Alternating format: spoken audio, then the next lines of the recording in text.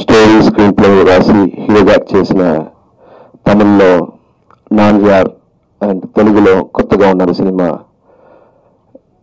అదే సేమ్ స్క్రిప్ట్ని ఇప్పుడు లేటెస్ట్గా స్మార్ట్ శంకర్ అనే సినిమాలో పూరి జగన్నాథ్ గారు చేశారు. Same script ditto from beginning to end and main co point ఏంటంటే దానిలో ఐ మీన్ తెలుగుకి వస్తుంది ఐ మీన్ కొత్తగా ఉన్నారు సినిమాలో నా క్యాప్ వచ్చి ఒక తెలంగాణ కురాడు లండన్కి వెళ్తారు. పెళ్ళి చేసుకుని ఒక కంప్యూటర్ జాబ్ కోసం లండన్ వెళ్తారు. అక్కడ ఇంకో ఆంధ్ర కురాడు బ్రెయిన్ తీసి ఇరిగి పెడతారు. అది అక్కడంతా యాజ్ యూజువల్ గ్యాంగ్ అక్కడ లండన్లో ఉన్న గ్యాంగ్ ఆ పోలీసు సేమ్ ఐ మీన్ ఈ సినిమా మీరు చూసి యాక్చువల్లీ కొత్తగా మన సినిమా చూస్తే మీరు చెప్పేస్తారు ఏంటి సేమ్ స్మార్ట్ ఫోన్ లాగా ఉందని. బట్ ఓన్లీ డిఫరెన్స్ ఏంటంటే లండన్లో తీసాం. సో ఈ సినిమా ఎయిటీన్త్ ఆఫ్ జూలై నేను um, చెన్నైలో చూసాను క్యాషువల్గా క్యాషువల్గా నేను ప్రతి తెలుగు సినిమా తీసాను నేను వెళ్ళి చూస్తాను. అలా చూస్తుంటే షాక్ అయిపోయాను. ఐ మీన్ తెలిసిపోయింది. నెక్స్ట్ ఏం వస్తుంది నెక్స్ట్ నాకే తెలిసిపోయింది. సో ఇమీడియట్గా um, సినిమా ఫినిష్ అయిన తర్వాత నా కోపడిసి చెప్పాను. ఆయన um, ఆకాష్ గారు ఇమీడియట్గా లీగల్గా తీసుకుంటాము స్టే ఆర్డర్ తీసుకుంటామన్నారు. కానీ నేను నేనేమన్నానంటే యాక్చువల్లీ పూజ పూజనాథ్ గారు నాకు బాగా పరిచయం యాక్చువల్లీ నాతో I mean is nice person so ఆయనతో ఒకసారి మాట్లాడతాము. ఆయనకి మన సిచ్యువేషన్ ఎక్స్ప్లెయిన్ చేస్తాము. తర్వాత మనం ఏదైనా చేద్దామన్నాను. సో పూరి గారిని కంటాక్ట్ చేయడానికి నేను ఎయిటీన్ నుంచి ట్వంటీ వరకు ట్రై చేశాను. ఫైనల్గా ఆమె ఆయన నంబర్స్ అంతా స్విచ్ ఆఫ్ వచ్చింది. లాస్ట్గా మన మూవీ ఆర్టిస్ట్ అసోసియేషన్ ఫోన్ చేసి పూరి ఆకాష్ నంబర్ తీసుకున్నాను. అతని నెంబర్ తీసుకుని ఫోన్ చేస్తే పూరి గారి మేనేజర్ మల్లికార్జున రావు గారు మాట్లాడారు.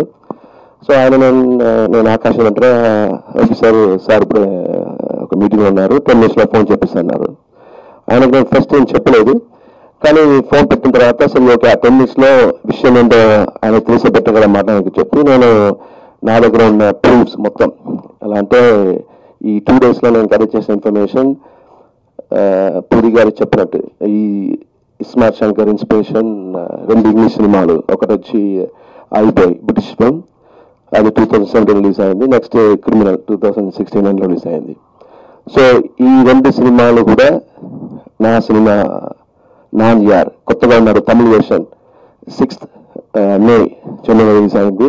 దానికి కూడా ప్రూఫ్ ఉంది హౌస్ఫుల్గా నచ్చింది సినిమా సత్యం సినిమాస్ ఆడింది.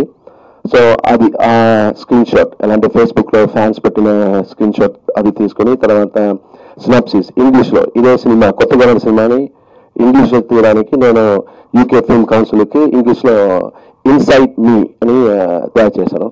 ఆ సినాప్సిస్ కూడా పంపించాను. సో నా దగ్గర ఉన్న అన్ని proof I mean censor Nan Yaar that's first original film ఈ క్రిమినల్ కానీ ఐబోయ్ కానీ ఇవన్నీ తర్వాతనే వచ్చింది. సో నా దగ్గర ఉన్న ప్రూఫ్ ఏంటంటే సెన్సర్ సర్టిఫికేట్ సెన్సర్ వచ్చి నాన్ సినిమా సెన్సర్ జనవరి టూ థౌజండ్ సిక్స్టీన్ చేశాము. అది తమిళ ప్రొడ్యూసర్ కౌన్సిల్ కలిసి సో ఆ సెన్సర్ సర్టిఫికేట్ అన్ని అన్ని పంపించాను. స్నాప్సీస్ అన్ని పూరి గారి మేనేజర్కి పంపించాను. వాళ్ళు ఫోన్ చేయలేదు. ఒక హాఫ్ అన్ అవర్ వెయిట్ చేశాను. హాఫ్ అన్ అవర్ తర్వాత ఫోన్ చేస్తే ఆయన phone switch off then next day ten రోజు ట్రై చేస్తే ఫోన్ తీయలేదు. సో తర్వాత నాకు టెన్షన్ పెరిగిపోయింది. నేను తమిళ్ తమిళ ఫిల్మ్ ప్రొడ్యూసర్ కౌన్సిల్ని కంటాక్ట్ చేశాను. వాళ్ళు దాన్ని లీగల్గా తీసుకున్నారు కంప్లైంట్ తీసుకున్నారు. ఇమీడియట్గా నేను లైన్లో ఉన్నప్పుడే కాన్ఫరెన్స్ కాల్లో AP film chamber of commerce president C Kalyan garu phone చేశారు. సో సి కళ్యాణ్ గారికి మ్యాటర్ చెప్పారు. సో ఆయన కళ్యాణ్ గారు కూడా ఇదే చెప్పారు. ఎలా అంటే ఏదో ఇంగ్లీష్ సినిమా నుంచి తీసానని చెప్పారంటే అప్పుడు మా తమిళ ప్రొడ్యూసర్ కౌన్సిల్ చెప్పారు ఇలా Akash original cinema non Yaar అనే సినిమా వచ్చి ఆ రెండు ఇంగ్లీష్ సినిమా రిలీజ్ కాకముందే రిలీజ్ అయింది ప్రూఫ్ ఉందని. So okay C Kalyan garu ఈ రోజు చెన్నైకి వెళ్తున్నారు సో అక్కడ మీటింగ్ నడుస్తుంది దీని గురించి. Tamil film producer council and C Kalyan garu కూర్చొని మాట్లాడుతున్నారు. సో లీగల్గా ఎలా తీసుకుంటారో అది డిసైడ్ అవుతుంది.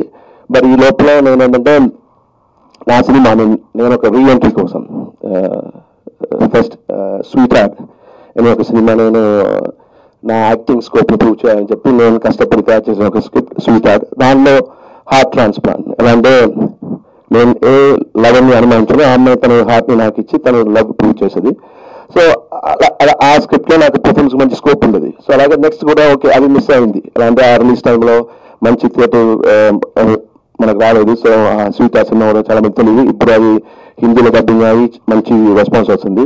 సరే ఇంకోసారి ట్రై చేద్దాం తెలుగులో చెప్పి నేను తెలుగులో నాకు ఒక రీఎంట్రీ లాగా అసలు ఏ సినిమా చేయకుండా ఈ సినిమా మీద కొత్తగా ఉన్న సినిమా మీద చాలా కసితో చాలా హార్డ్ వర్క్ చేసి ఆ స్క్రిప్ట్ తయారు చేసి అంటే మంచి పెర్ఫార్మెన్స్ స్కోప్ ఉన్న స్క్రిప్ట్ సరి సరిగా మారడం ఐ మీన్ మీరు చూసారు కదా స్మార్ట్ సంఘంలో ఎలా రామ్ చేశారు రామ్ బాగా చేశారు. పూరి గారు కూడా చాలా బాగా డైరెక్ట్ చేశారు. కానీ స్క్రిప్ట్ అది నేను నా పెర్ఫార్మెన్స్ ఇన్ని ఇయర్స్ నేను తెలుగు ఉన్నాను నా యాక్టింగ్ స్కోప్ ఇంప్రూవ్ చేయడానికి కోసం నేను అది తయారు చేసుకున్నాను. ఎలా అంటే వెరైటీ పర్సనాలిటీ టోటల్ వెరైటీ ఒక క్యారెక్టర్ రఫ్గా ఉండదు ఒక క్యారెక్టర్ సాఫ్ట్గా ఉండదు. సో ఒక మంచి ఆల్రెడీ అపర్చునిటీ వచ్చింది. సో అపర్చునిటీ అయితే స్పిట్ పర్సనాలిటీ స్పిట్ పర్సనాలిటీ కాకుండా వెరైటీగా ఏం చేద్దాం అనుకున్నప్పుడు అప్పుడే నేను రీసెర్చ్ చేసినప్పుడు ఈ బ్రెయిన్ ట్రాన్స్ప్లాంట్ మీద ఒక రీసెర్చ్ వస్తుంది కానీ ఇంకా అది సక్సెస్ కాలేదు. సో ఆ సక్సెస్ కాలేజీ కూడా పెట్టాను ఇప్పుడు ఇప్పుడు నేను మన ప్లేలో చూసి మీకు తెలుసు. ఎలా అంటే అప్పుడప్పుడు కొడుతున్నాను ఎలా అంటే ఫ్లక్చుయేస్ అవుతుంది.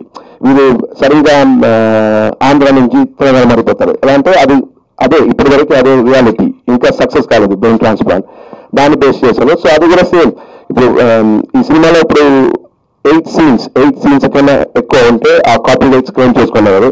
కానీ సినిమాలో ఈ స్మార్ట్ శంకర్ నా కొత్తగా ఉన్న సినిమాలో మినిమం ఫిఫ్టీన్ సీన్స్ పైన ఉంది. సేమ్ డిట్టో ఐ మీన్ మీరు సినిమా చూసా మీకు తెలుసు. ఇప్పుడు ఓపెన్ చెప్పిన for example I mean basic thing like ఒక ఇన్సిడెంట్ ఉంది క్లాస్లో రామ్ అతన్ని విలన్ గ్యాంగ్ చూసాడు ఏ నువ్వే కదా నన్ను చంపేశాను అంటే సత్యదేవ్ క్యారెక్టర్ని అదే సేమ్ ఇప్పుడు ట్రైన్లో కూడా మీరు చూస్తుంటారు.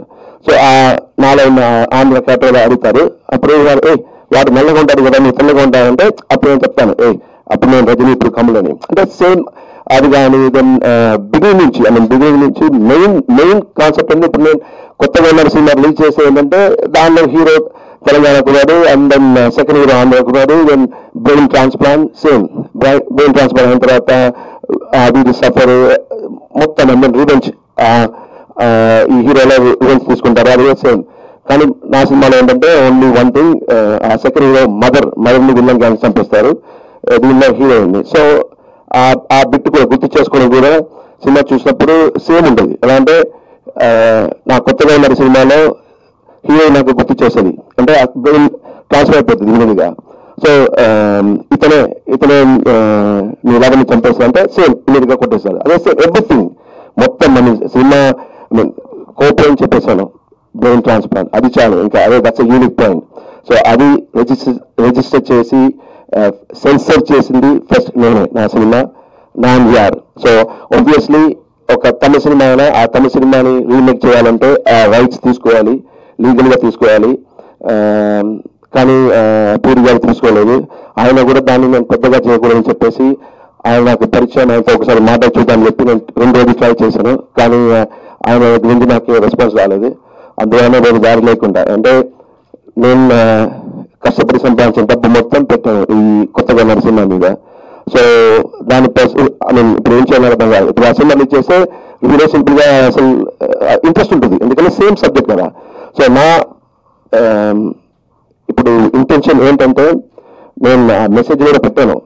పురి గారి మెసేజ్ కూడా పెట్టాను. అన్ని అన్ని ప్రూఫ్స్ పంపించిన తర్వాత లాస్ట్లో పెట్టాను. ఎలా అంటే నాకేమొద్దు ఆయనకి ఆయన పేరు కూడా చదవడం నాకు ఇష్టం లేదు. ఆయన సక్సెస్ని ఆయన ఎంజాయ్ చేయాలి. ఆయన కూడా పాపం త్రీ ఇయర్స్ తర్వాత ఆయనకి సక్సెస్ వచ్చింది.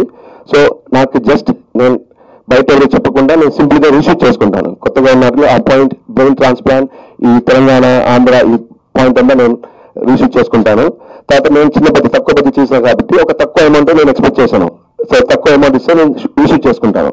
సో బట్ ఇప్పుడు ఎలా అంటే ఆయన ఎక్స్పెక్ట్ చేయలేదు కాబట్టి ఇప్పుడు నేను లీగల్ వెళ్తున్నాను. ఈ cinema smart Shankar cinema copyrights కూడా నాదే.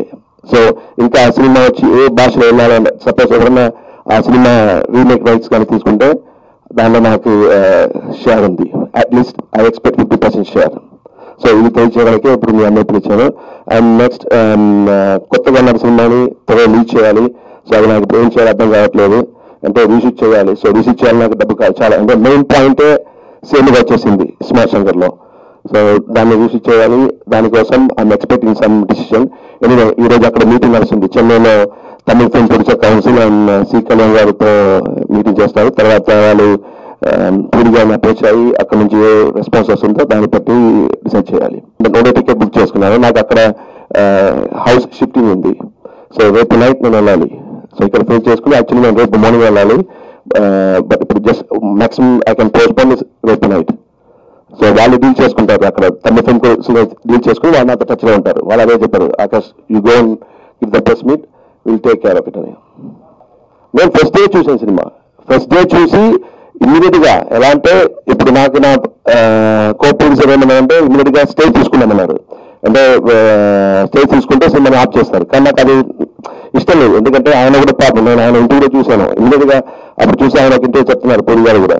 త్రీ ఇయర్స్ తర్వాత ఆయనకు ఒక సక్సెస్ వచ్చింది. సో ఆ సక్సెస్ ఇచ్చిన కూడా నాకు ఇష్టం లేదు. సో ఆయనతో ఒకసారి మాట్లాడి స్టే తీసుకుంటే మొత్తం మా కలెక్షన్ ఇప్పుడు ఆ సినిమా చెక్ చేస్తే ట్వంటీ ఫైవ్ క్రోర్స్ కలెక్ట్ చేసి అంటున్నారు.